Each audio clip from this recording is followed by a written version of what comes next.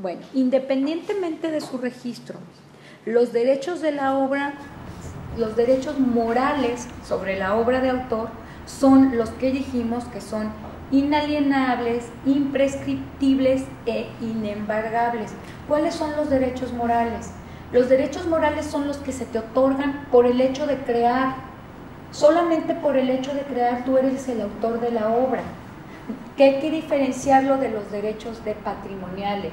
Los derechos patrimoniales son los derechos que tienes para lucrar con la obra. Y esos son los que tú puedes ceder en un, en un contrato, puedes hacer un contrato de cesión de derechos patrimoniales de autor o los puedes este, donar eventualmente. La ley dice que no puedes renunciar a tus derechos patrimoniales, pero definitivamente la naturaleza humana no te permite renunciar o donar los derechos morales sobre la obra, porque pertenecen al autor desde el momento en que crea. Eso es, este, y he tenido controversias en otras conferencias, en otras pláticas, que llegan y me dicen, ah, pero que si yo, él me la, me la vende y yo le pongo mi nombre, entonces ya es mía.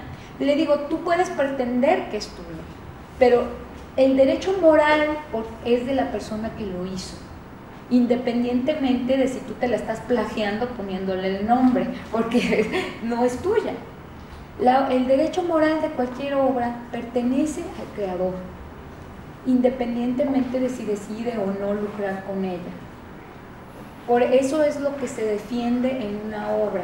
Y los derechos morales son intransferibles y no pierden vigencia nunca la ley le confiere, ahorita vamos a ver, vamos a ver más adelante, la temporalidad que la ley te da para que tú lucres con tu obra, que son los derechos patrimoniales que te pertenecen y durante ciertos años tú puedes cobrar o solicitar se te pague si están utilizando tus textos o si están utilizando tu trabajo, si están utilizando tus ideas de alguna manera que tú tengas registrada. Las ideas propiamente no se registran, ¿eh? eso se los aclaro, son irregistrables, pero estoy hablando de ya plasmadas en un proyecto, ¿sí? Bueno, de esta forma se le reconoce primero el, derecho de la paternidad a la obra, es decir, quién al que lo creó, es el padre, ¿no? El padre de la obra. Ese es el derecho moral que no tiene ningún tipo de negociación ahí, no se puede, pertenece al creador el derecho de integridad, es decir, es un derecho moral también perteneciente al creador, en virtud del cual el autor tiene derecho a oponerse en todo momento a que su obra sea mutilada o deformada de tal manera que se afecte su mérito artístico o el honor o la reputación del autor. Es decir, tú como autor decides sobre tu obra. Tienes la paternidad, es decir, tienes el derecho de, de moral que se te da por el hecho de ser creador tienes el derecho a que se mantenga la integridad de la obra, es decir, si tú no, si tú como escritor no autorizas que se haga un determinado, una versión libre de la obra, tú todavía estás vivo para impedirlo, no pueden hacerla, ¿sí? Porque tú puedes considerar, puedes demandarlos, puedes decir, estás mutilando una obra mía, estás dándole un sentido que no es la natural que yo le quise dar. Crea tu obra si quieres, haz un pero no, no, este, no utilices mis frases, no utilices este, mi título, no utilices mis textos, no mutiles mi obra. ¿no? Otro derecho que tienes es el derecho inédito o de divulgación, es decir, otra de las características, de las virtudes que te va a dar el derecho moral es que tú puedas o no hacer que se divulgue. Tú lo puedes guardar, tú eres el creador, eres el dueño de esa obra. Eso no, no te lo puede quitar nadie. Y puedes divulgarlo o no. Tú tienes el derecho a que se publique o no. Ojo, si le cedes a una editorial o a alguna empresa dedicada al arte ese derecho, pues ellos podrán, por el tiempo que se lo cediste, te guste o no, tú recibiste un beneficio a cambio de eso. Ya no puedes decir, ya no, porque, pues, obviamente el otro derecho, el derecho de modificación, obviamente, si es tu obra, tú puedes modificarla y de hecho hay una, hay una versión cuando tú registras la obra en, en Indautor en el formato si te preguntan si es obra primigenia o derivada. Es decir, tú puedes escribir un cuento y después decidir hacer un guion, por ejemplo, basado en tu cuento. Y puedes decir, pues es derivado. Y también puede ser de un tercero.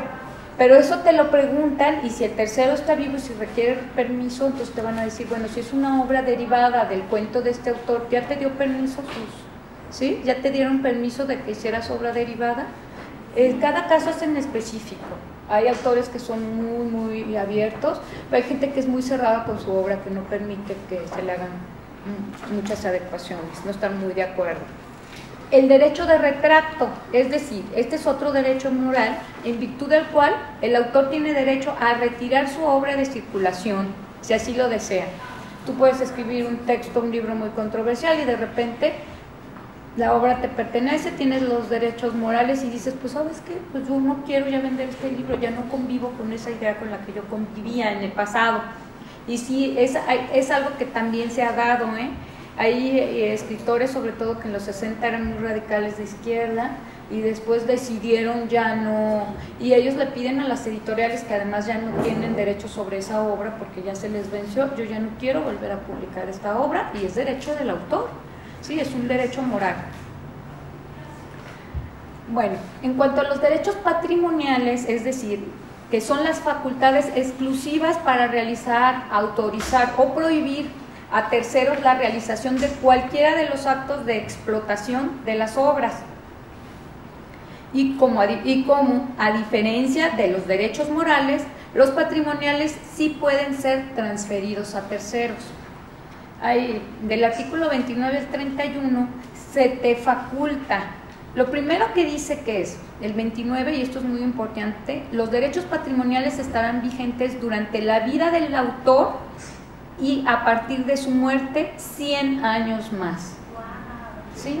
Esa es una de las, de las reformas que logramos en este país que se nos dieran, es de las últimas reformas. 100 años, y es reciente, ¿eh? se le dio en el 2009, 2010 esta reforma.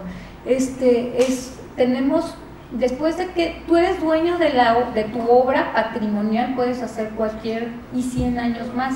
Tan es así que, por ejemplo, pues hay autores como, no sé, el nieto de José Clemente Orozco sigue viviendo de su obra este, tenemos, y siguen, y demandan, ¿eh? Y sí demandan, si, si no, si, no, si, sacas un libro, tú muy este, de conocimiento, muy de escolar y muy lo que tú quieras, y no les pides permiso, si llegan y te demandan porque no tienes la autorización para la reproducción de la obra. Eh, hay muchísimos autores, a mí me ha tocado que luego hay que buscar la ayuda de fulanito de tal que ya falleció y que fue el que escribió este guion de cine o el que escribió este cuento que dejó inédito o editado, pero es de él, lo tiene registrado y hay que, ahí andamos este, buscando a la viuda o a los herederos para que nos hagan una sesión de derechos, para que luego no exponer a la persona a que le veten, por ejemplo, cuando ya hay un capital de por medio vas a hacer una película, algo que te va a costar, este, o una beca o ingresos propios, eh, recursos y que tienes que responder ante una institución para presentarla y luego resulta que, uy, es que el, guion era derivado de una obra o no solicité a los que tenían los derechos para que me, para que me autorizaran, ¿no? Bueno, entonces, una vez que la persona, la, la ley dice, bueno, 100 años después de divulgada la obra, aún, este, si divulgas la obra, este post-mortem, se te respetan los 100 años, obviamente ya no estás vivo para haberte dado toda la vida la autoría de la obra, la tuviste en el cajón, si la tuviste, los morales siempre los tuviste, los patrimoniales nunca los alteraste, pero pues tú, tú tenías el derecho a la divulgación que tiene cualquier autor, decidiste no hacerla, post-mortem, tu viuda, tus hijos, tus amigos deciden que lo van a publicar y la persona que tenga los derechos sobre tu obra, tus hijos, o tu viuda o la persona que es heredera de la obra, este, formalmente, son los que heredan esto de, los derechos de la obra. Mm. Luego, el titular de los derechos patrimoniales, conforme a lo establecido por la ley, puede transferir los derechos patrimoniales u otorgar licencias de uso exclusivas o no exclusivas. Es cuando decimos que tú como autor puedes ceder los derechos en estos contratos que ya les, les, participé, que se llaman contratos de cesión de derechos patrimoniales de autor. Es decir, los morales son tuyos, esos no los puedes ceder, no se transfieren, pertenecen al creador y son inherentes a él por el hecho de ser el creador, que es el derecho moral. Puedes ceder los derechos de tu obra para que para que una editorial lucre con ella o para que se haga una obra de teatro se esté, se esté publicando, cedes los derechos o para un programa de televisión, para que se lleve a cabo una película, para lo que tú quieras. Pero el derecho moral quiere decir que siempre va a ser reconocido que es tuyo, independientemente de si, de si decidiste donar los derechos por 10 pesos o por un millón de pesos. Eso no tiene nada que ver, es tuya la obra. Nada más que ellos tienen, tú te los diste por una cantidad para que ellos lucraran 5 años. Es a lo que voy. Los términos de los contratos son a 5 años si no dice término su contrato de cesión de derechos patrimoniales, la ley establece en su artículo 33 que el término es de cinco años. Dice, únicamente de manera excepcional se podrán hacer contratos por 15 años cuando el monto de la inversión o la naturaleza del evento, pues este, si tú estás haciendo una película que vas a durar 10 años haciéndola o no me vas a, o sea, pues no te puedo dar un contrato por 5 años y luego en 5 años después de que el productor ya invirtió y compañías y todos invirtió un dinero, ah, pues fíjate que no, ya no te quiero dar a ti los derechos de mi obra. Es claro que no. Tienes que ser, tiene que ser este, por si la obra, el tamaño de la obra que se está haciendo Imaginémonos que alguien decidiera hacer este, un parque cortasiano sobre los cuentos de Cortázar, hacer como un parque fantástico, así como un tronco mágico, pero con puros conceptos de la obra de Cortázar. Obviamente Cortázar todavía le pertenece los derechos de la obra a la familia de los herederos. Y pues todavía no han pasado 100 años desde que murió, ni 30. Entonces, ¿qué vemos ahí? Pues tienes que solicitar eh, hacer un, pues ir a hablar con la familia, digamos, y que te hagan un contrato de cesión de derechos patrimoniales para que tú puedas llevar a cabo este parque temático sobre, es basado en los conceptos que están en las obras de Julio Cortés. Pero no le puedes, le puedes decir, oye, pero este parque temático yo voy a durar más de 10 años haciéndolo.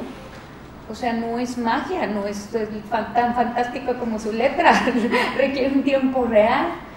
En, ese caso, sería, por ejemplo, un caso en los de aplicaría que los contratos de cesión de derechos, dada la magnitud de la obra y dada el monto de la inversión, pudiera ser de los que aplican hasta los 15 años. Pero cuando se trata de una obra de teatro, cuando se trata de un asunto que requiere los 5 años, pues tú haces, estableces un contrato y si no le pusieron temporalidad a su contrato por ignorancia de la ley o lo que sea, la ley dice, a falta de término, el contrato vale por cinco años, punto. A menos que lo justifiquen con una inversión que, que amerite que pueda ser por más tiempo. Entonces, estos contratos de cesión de derechos de autor, aunque se lo hagas a una editorial, la editorial puede hacer, pues, los cinco años tiene para saber si se va a vender, si siguen trabajando contigo o no. por sí que ellos tienen, son, ¿cómo se dice? es muy particular, el trabajo con las editoriales es muy delicado, siempre tienes que ver quién es tu editor para, y ver que efectivamente sea una editorial seria que va a publicar el número de libros que te está diciendo que va a publicar, porque también debe quedar los, eso establecido en los lineamientos de los contratos. Es muy difícil luego regular eso. Bueno, resumiendo, los derechos que tenemos sobre nuestra obra o creación se dividen en morales y patrimoniales. Los morales son inherentes al creador de la obra y por lo tanto intransferibles. Al contrario de los patrimoniales, que son el derecho que se tiene para lucrar con la obra y permiten que ésta se pueda ceder o transferir a cambio de una remuneración económica. Concluyendo con la idea de que la creatividad, así como la intelectual autoridad de una obra, representan en gran medida el desarrollo integral y equilibrado, no solo del individuo que crea, sino de la relación cultural e histórica de la sociedad que representa. Es decir, la capacidad de crear enriquece al individuo, a su nación, a su cultura y es parte del patrimonio humanitario que dejamos a otras generaciones. Muchas gracias.